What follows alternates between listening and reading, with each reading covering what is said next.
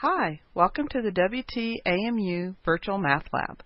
This video will step you through College Algebra Tutorial 27, Example 2. In this example, we want to find the slope and y-intercept of the line 3x plus 2y equals 6 and then graph it.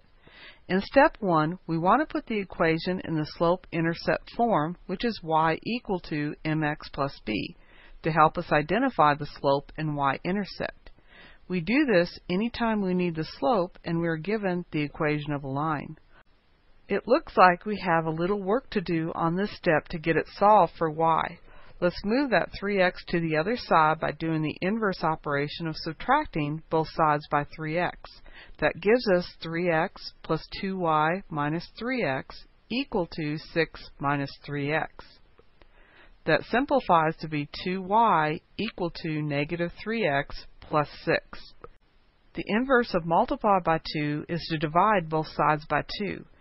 This gives us 2y over 2 equals negative 3x plus 6 all over 2.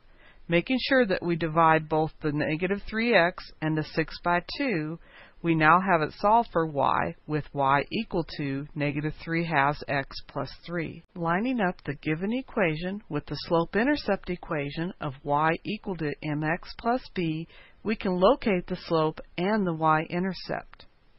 The slope is m, which is the coefficient in front of x. In our example, the slope would be negative 3 halves. The y-intercept is b, which is a constant term. In our example, the b equals 3. The y-intercept would be the point 0, 3. In step 2, we want to start our graph by plotting the y-intercept.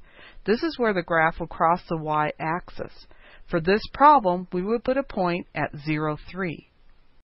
In step 3, we use the slope to find the second point on the line. The slope is rise over run. Since we have a negative slope, the rise and the run have to be opposites of each other. One has to be positive and one has to be negative.